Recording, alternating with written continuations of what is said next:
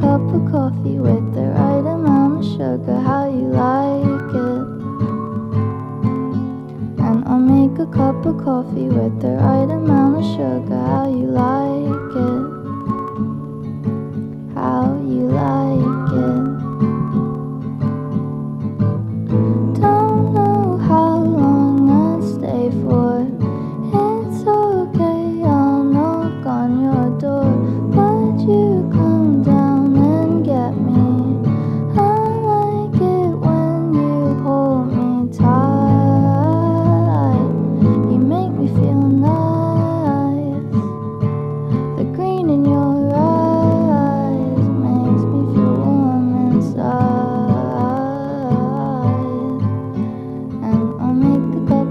happy with the